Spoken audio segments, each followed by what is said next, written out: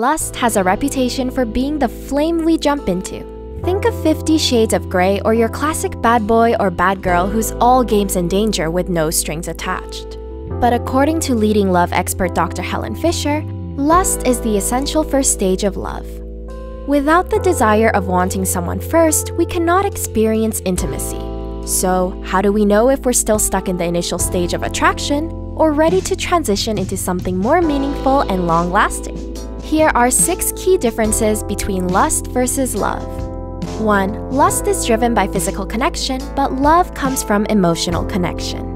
It all comes down to our brain.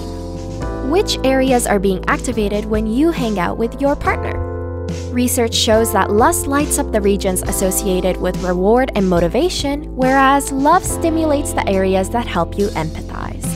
Lust happens when you and your partner don't have much to talk about but have great sex. This is common for two people who haven't been dating for too long. But love, on the other hand, happens when you appreciate your partner for more than just their looks and can spend meaningful time with them. This is what ultimately forms the start of a deep and serious relationship. 2. Over time, love grows stronger, whereas lust becomes weaker. Psychologist and sex therapist Shannon Chavez states that as attachment and bonding grow over time, so does love. But lust is more temporary and fades when sexual desire fades away. If a relationship is based solely on lust, there is inevitably no foundation to fall in love with each other. Lust feels like an exciting roller coaster but can only be sustained by physical pleasure. When the real work kicks in, the dynamic either transitions into love or the relationship begins to fall apart. 3. Lust is based on fantasies. Love, however, operates on the ground of reality. Have you ever looked back on past relationships and wondered how on earth you two got together? I don't know about you, but I sure do. Imagination can come in handy when life gets mundane, but more often than not, it's like a double edged sword.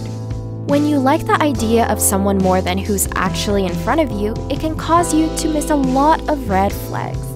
Relationship experts state that there is only so much time before reality sets in and makes you realize that your partner has faults just like you and that your expectations were unfair. 4. In lust, you're romantic partners, but in love, you're lifelong friends. Psychiatrist Judith Orloff discovered that people in lust are just lovers, but true love is built on the foundation of a strong friendship. Sure, two people can agree to be in a relationship, go on fun dates, and even meet each other's family.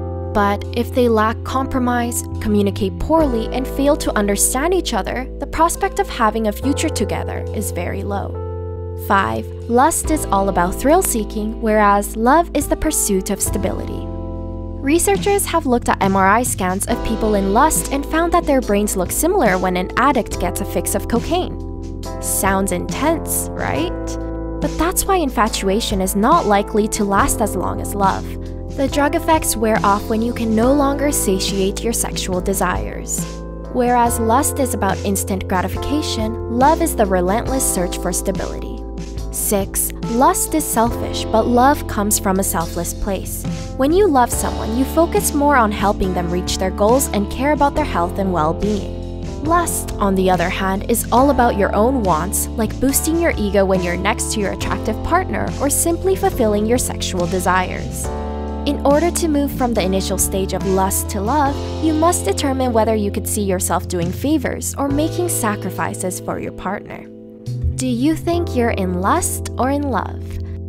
We hope that this video helped you differentiate between the two. Remember that just because you might only be experiencing lust doesn't mean that your feelings can't develop into love.